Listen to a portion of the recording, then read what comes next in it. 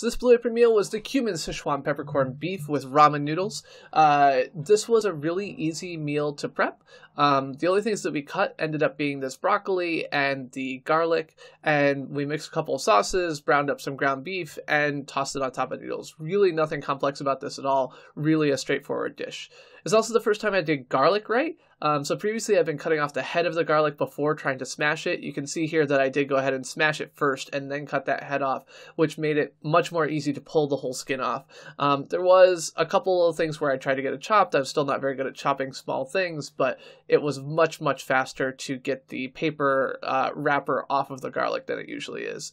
You can see here we're mixing in that sauce and going to add in a little bit of water here to have that. That's going to be our sauce that goes on top of the beef in order to fill up the ramen. And now working on cooking that broccoli. Now the broccoli is going to get salted and peppered and so it goes. Um, one thing you'll see here is I do actually use the stove burners on the far side. The unused ones is kind of a, a staging area. Uh, you can see I put my ingredients there. Don't do that if you've used the burners. Do be aware of that because um, you don't want to be at risk of a fire and those burners will stay hot. Um, so we briefly here, I did consider trying to put out a second pan and try to cook the beef in parallel. Um, I realized after starting that that it was really going to mess up my timing with everything else. Blue Apron's actually really good about timing. Um, and here's where I make, I think, my biggest mistake of this meal as far as safety goes is that when I finish up this broccoli, I go ahead and put that paper towel right on the burner. Don't do that. Um, that burner is hot. That metal there is hot, and a paper towel is an easy thing to, you know, potentially start a fire that I don't want to deal with. So that was a big mistake. Definitely be aware of that and don't do that kind of thing. Um, I didn't even realize it at the time, so it's really something you have to be aware of constantly so you don't make mistakes like that.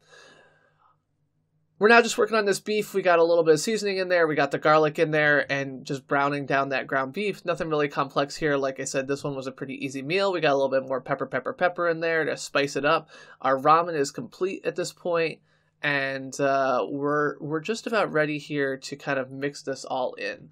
Um, so the biggest thing that makes this meal different, the biggest thing that made this meal better in my mind was the flavor profile of the sauce. So that's not something that I had a lot to do with. Um, obviously, that's something that you know comes directly from Blue Apron like that. You can see we're mixing that up here and gonna pour that in.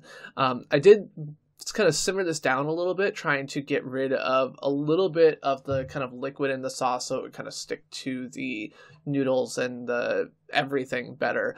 I do wish I had chopped up the broccoli a little bit smaller. Had I realized what I was going to do with it, I definitely would have tried to chop up more of those florets.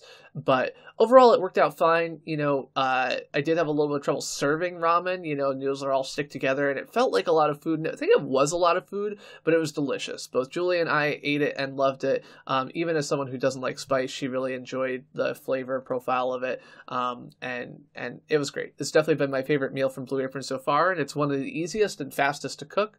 And uh, I I was a big fan. So that's the seventh meal I cooked from Blue Apron.